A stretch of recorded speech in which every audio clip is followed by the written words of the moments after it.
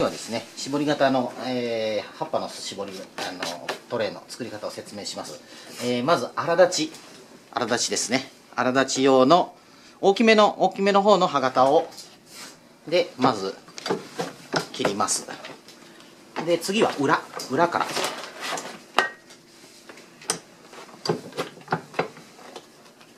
で向かい合わせでこうなりますね。あの表裏から切ったので丸切りったり合うはずです。はいえー、OK です。それではさっき切ったこのピースに海苔を塗って。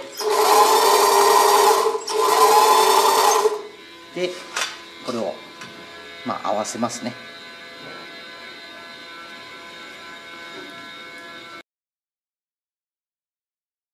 はい、それでは先ほどあ貼り合わせたものを、まあ、こんな適当な、あの平べったい木でも置いてもらって圧着します。よーく圧着してください。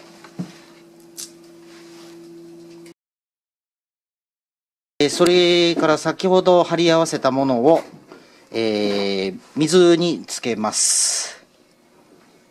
ですね。おそらく、まあ、5分10分かかると思いますけれども、まあ、なんかなんか重しでも乗っけて何でもいいか。こんなものでも。5分10分。あの浸透するまで放っておいてください。えー先ほどつけておいた、えー水から出してください。これであのーまあ十分浸透してます。まあ色味で分かりますよね、えー以上です。えーそれではですねし皮絞りに入っていきます。皮絞りに入る前に、えー先ほどのものをまた用意しあの濡らした湿ったものを用意していただいて一度またこれ絞ります一度。平面で絞ります。水出ますね。絞っちゃいます。で絞った後のもの。でここでこれを用意していただきます。で方向がありますので方向を間違えないように。これはあの印つけてありますので印にあの上と下を方向合わせて。これ多分合わないと思いますのでこれぐらいの高さ調整でまたこの板使います。でこれで絞ります、まあ、こんな感じでね、まあ、破れることはないでしょ。うぎゅっと思いっきり絞ってください。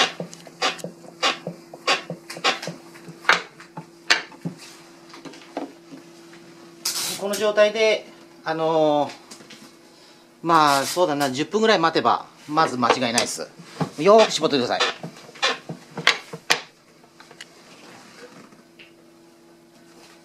これで10分ぐらい。まあ長ければ長い方でいいですけれども。まあそうだな。30分ぐらいでいいかな。長くてばそうするとあの長くやった方があのエンボスがきっちりつきます。10分ぐらいあのよく絞ったものを。開きます。こういう状態ですね。ギリだったですけどもね。それをえー、とこの線に合わせてこれを置きます、まあ、ほぼ一緒のはずです。多少違うかもしれないけどね。まあこれでこれで合わせましたね。この背筋に合わしました。でこれ本立ち今度使ってください。えー、っと本立ちの歯型です。でこのえー、っと大型のしたままで軽くはい、切れました。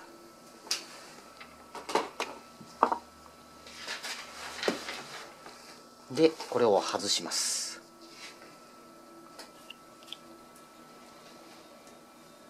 出来上がりです。まあ、あとは小刃を仕上げてください。これで乾かしてください。乾かせば、あの、カチ結構カチカチになります。以上です。